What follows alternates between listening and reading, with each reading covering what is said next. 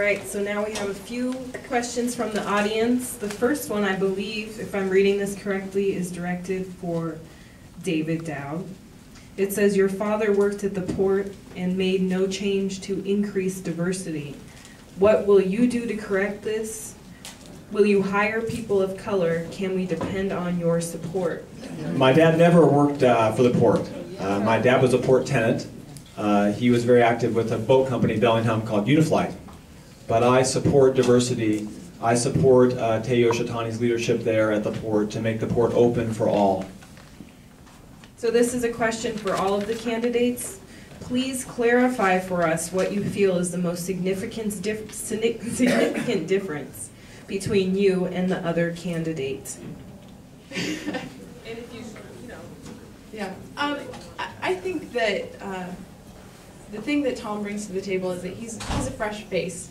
He is not a port insider. He never even knew anybody at the Port of Seattle before he started this, uh, crazy journey they call a campaign.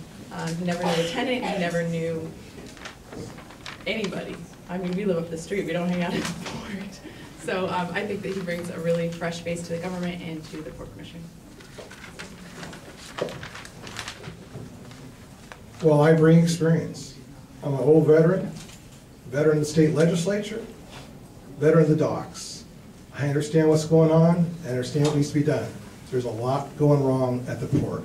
They need a new direction, need somebody who knows the deal, doesn't need on-the-job training, and has the understanding of how to make government work. Thank you. I spent my life in the transportation uh, industry. That's what my career is.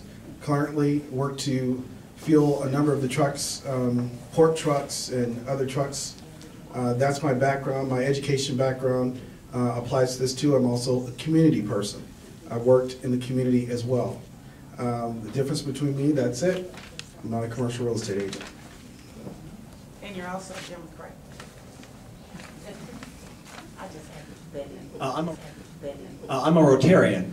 Uh, and I also have a dedicated background of international business tra- experience. I think that's a big, a big difference between my, me and my opponent. I think it's very, very important at the Port of Seattle because the port, again, is our international gateway to the world for all of our grain products in eastern Washington, uh, to the fish from Trident Seafoods, to, uh, to the cargo volumes, to you name it. So it's very important to have that connectivity. I've been uh, to China on business, and I understand the opportunity for us in our region here to benefit from the growth in Asia.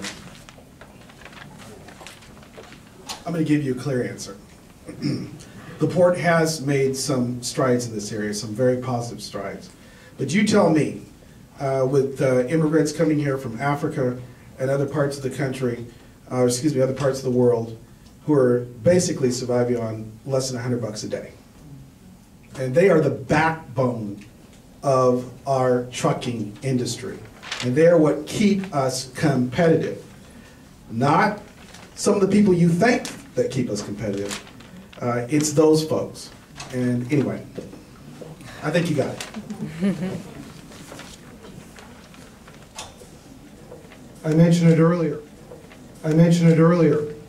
The truck drivers are one of the reasons I ran for office. I want to see their plight improved. I'm tired of seeing the latest wave of immigrants exploited like they are. And they need a chance for a hand up and equal rights, and that's one of the reasons I'm running. And we talked about that at that meeting in Boulevard Park where I was at, Rob. We did. It was sponsored by Acorn, but it covered a whole bunch of, of topics, including truck driver organization and fairness and non-discrimination. And I was proud to stand up there with you, Rob, and with John Creighton, and answer the questions of that Boulevard Park community. And I'm so sorry it's been distorted by other people and made into something it wasn't. Thank you.